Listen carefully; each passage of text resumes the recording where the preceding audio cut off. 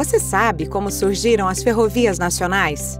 No Brasil, a construção da primeira ferrovia ocorreu em 1854, com a inauguração da Estrada de Ferro Mauá por Dom Pedro II. O trecho de 14,5 quilômetros saía da cidade do Rio de Janeiro e chegava até Petrópolis.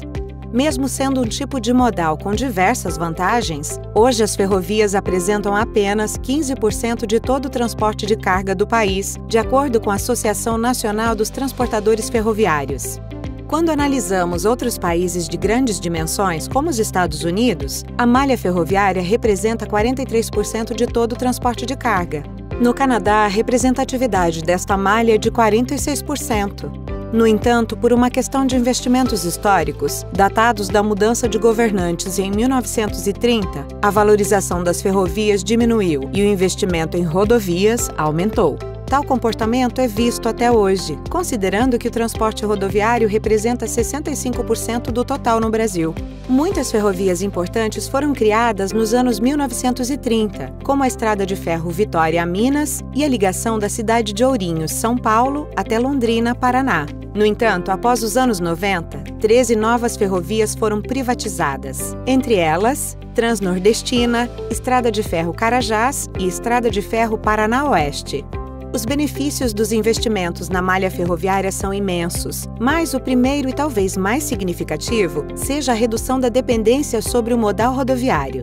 Atualmente, aspectos como a má qualidade das estradas e obras rodoviárias impactam consideravelmente o transporte de cargas, o que seria minimizado com as ferrovias. A expansão férrea ainda traz vantagens como a redução de custos, diminuição da emissão de poluentes e redução de acidentes nas estradas. As ferrovias são responsáveis por transportar cerca de 95% de todo o minério do país. Com planejamento, seria possível transportar diversos outros tipos de insumos. Para que a expansão dessa malha ferroviária se torne realidade, o primeiro passo seria a volta de investimentos realizados pelo governo federal e a consideração de transportes intermodais.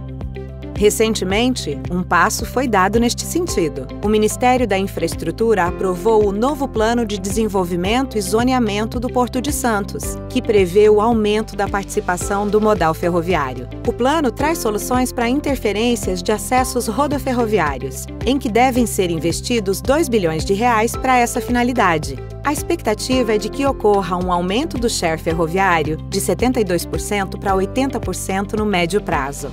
Quer saber mais sobre o avanço das ferrovias no Brasil? Confira outros conteúdos sobre o tema em digital.intermodal.com.br.